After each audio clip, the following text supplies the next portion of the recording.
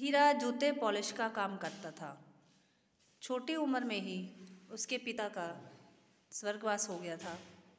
वह अपनी छोटी बहन और माता के साथ एक झुग्गी में रहता था।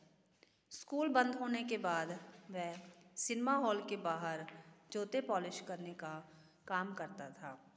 एक दिन वह अपना काम करते करते सारे दिन के कमाए हुए पैसे गिन रहा था। तभी वहाँ से एक राहगीर गुजरा। अरे अरे, आपने कुछ सुना? भाई, क्या हो गया? की दुकान से एक जो का पंखा चलाकर भाग गया चलो मैं भी अरे लड़के मेरे जूते अच्छे से पॉलिश कर दो कोई जल्दी नहीं है भाई मुझे दूसरा जूता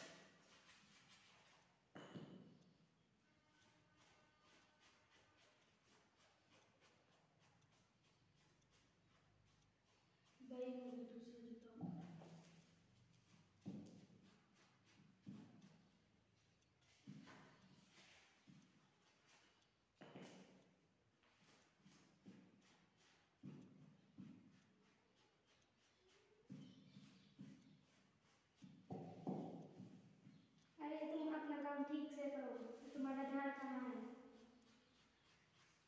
जल्दी से शो खत्म होने में भी पाँच मिनट बाकी है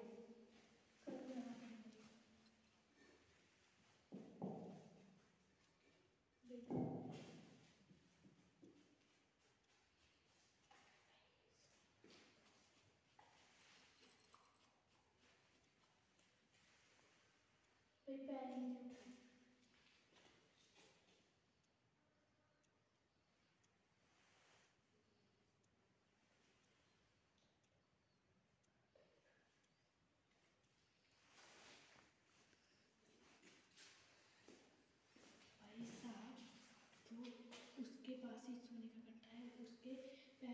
तो उसके